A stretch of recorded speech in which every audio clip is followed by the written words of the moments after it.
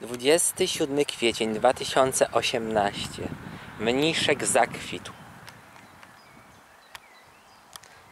Pszczoły rozpoczęły pracę.